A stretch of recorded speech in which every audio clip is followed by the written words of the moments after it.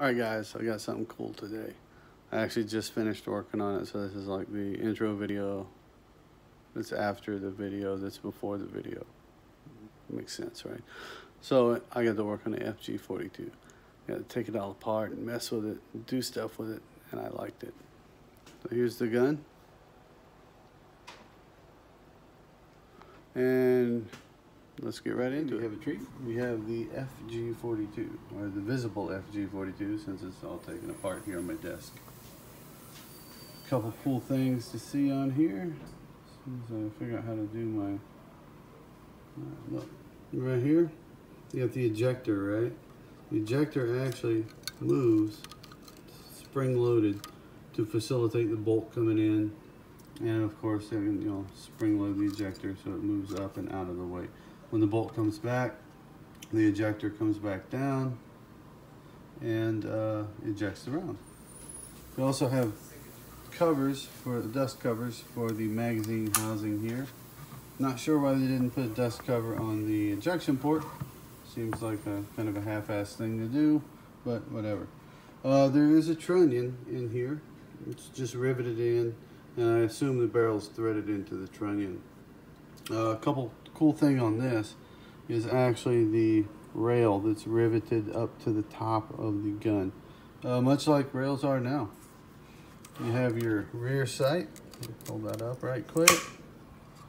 And to act, to use the rear sight, press this in and turn it, much like another gun that escapes me right now what that gun is, but it's pretty cool. Uh, got the inside. Let's see if I can get a flashlight on this. There we go. Got the inside right there. You can see the uh, chamber area and the locking shoulders. The bolt rotates, of course, in the uh, in the locking shoulders. It's kind of like an M60, or the M60 is kind of like this, rather. Uh, basically, bolt comes forward. Bolt, the locking shoulders are straight up and down. When they're in the normal position, it's spring-loaded, so they're straight up and down. They're spring-loaded to this position normally. The gun and the receiver channel keeps the locking shoulders straight up and down. Cruises down the down the uh, receiver, and some channels right here in the rails. We'll call them rails. We'll call them channels. Whatever. We'll call them channels. There you go. But it cruises down there. Once it gets to the area of the yeah, hold on. Once it gets to the area of the uh, trunnion up there, you can see where it guides it and goes in and rotates and locks it till you know firing. Uh, pretty big gas port on this thing. I haven't measured it, but there's my thumb, for instance. So you can see it's pretty big. Couple little threads on the barrel. It's actually kind of an intricate barrel. You got threads up here, uh, a bunch of stuff threads onto. I'll show you here in a second. Shoulder right there. The little. I assume this is an anti-rotation thing. Same thing back here, anti-rotation, shoulder, um, threads, and it comes back here. It looks like the barrel is staked in a couple places. And that's how the barrel actually sits still. Or that's how it's locked I guess you could say. All right so the bolt and carrier. A bolt and carrier here's your this is your semi-auto sear area. This is for your disconnector. This is your full auto disc or your full auto sear area. Uh, not too complicated. Of course it's all milled you know, but that's that's what it is. Uh, firing pin just travels up through the bolt. Oh, here we go. This is kind of cool. The firing pin actually is controlled by this little shoulder. It's kept, it's kept, uh, it's locked into this little car into this little shoulder by the carrier. These two little prongs go up like an M60. When your bolt is locked, it allows the firing pin to come out. When it's unlocked, the firing pin can't come out because it's locked. It's to the rear with your carrier. So that's kind of cool, like the M60. So now here's your fire control group in in the uh, pistol grip. Einfeuer is semi, Dauerfeuer is full. So there's your disconnector, and there's your main sear. Uh, when you pull the trigger, your disconnector goes up, your sear comes down. Now, I haven't quite figured this out all the way because I'm still kind of messing with it. But um, that's kind of cool. It's just a big chunk of metal in there with a couple springs. well, a couple chunks of metal with a couple springs. You pull this out and rotate it down and forward to go to semi. Basically that reverses this and kicks it up this way. I'm thinking, if I'm not mistaken, in this position, your disconnector is actually out of the way of the bolt or the carrier.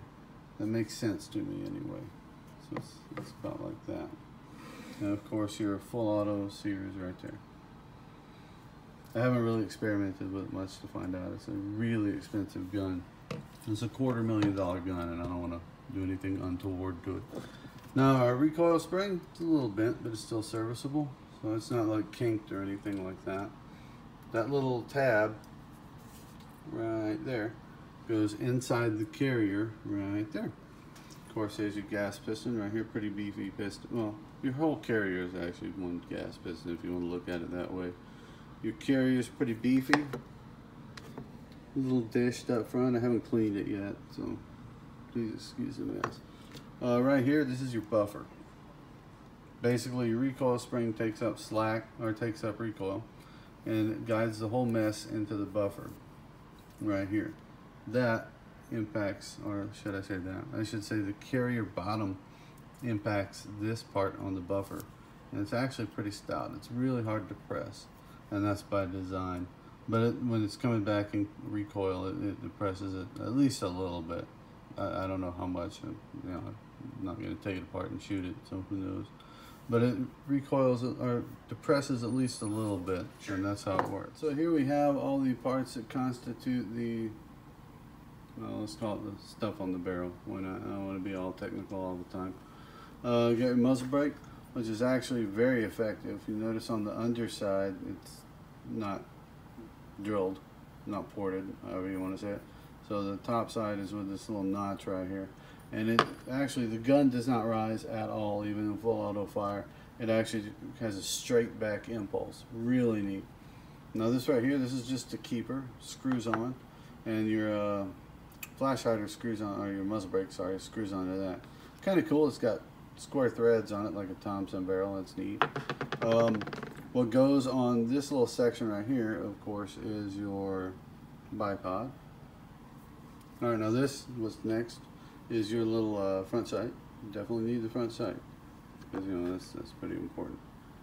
Um, yeah, front sight. And that just goes on the little. That's pretty much all the stuff on the front shoulder right there.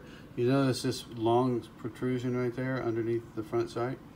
That actually fits on there and prevents the whole thing from spinning. So that's pretty cool. All right, so you got this. This is actually the cap to your gas system.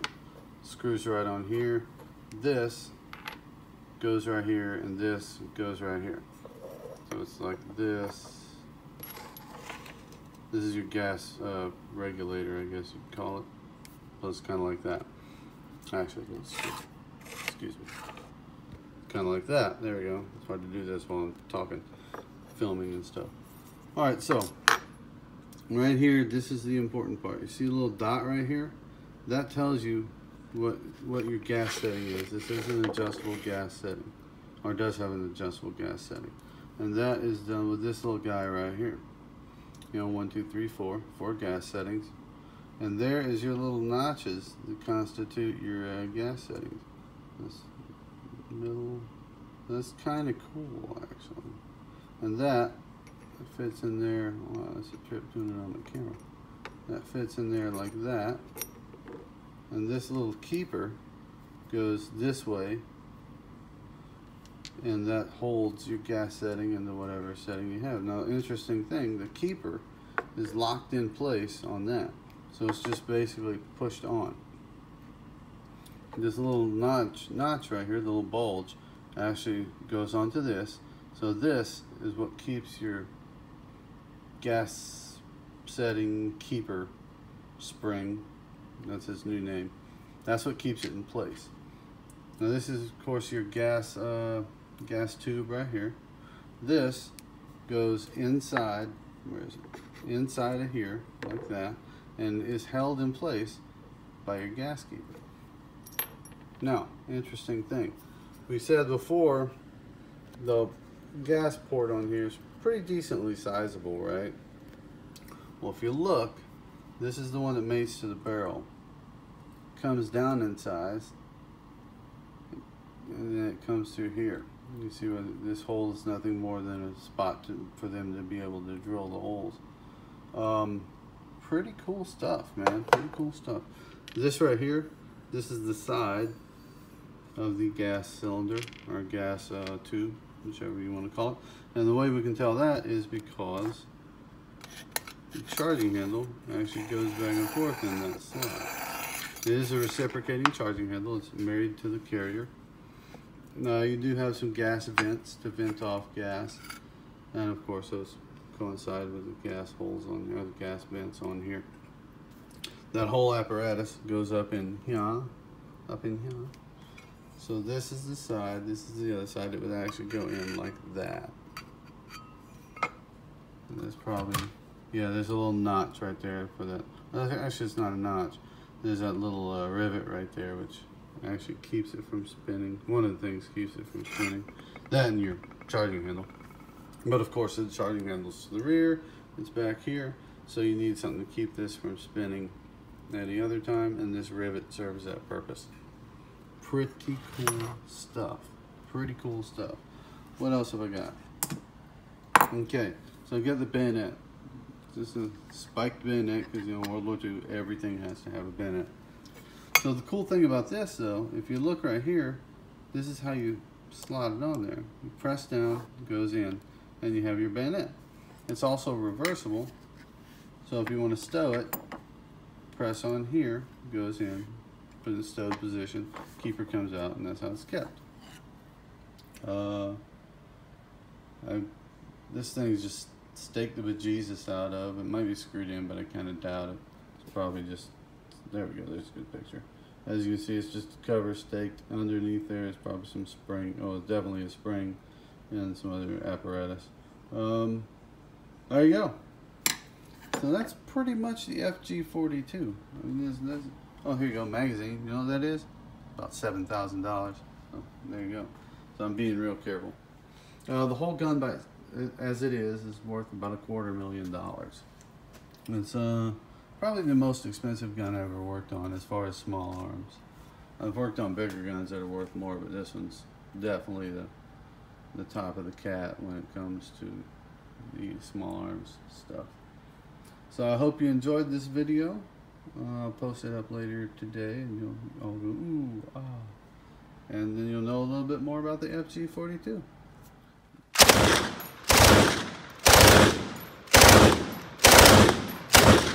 Yeah! Oh, I'm a fan of this thing.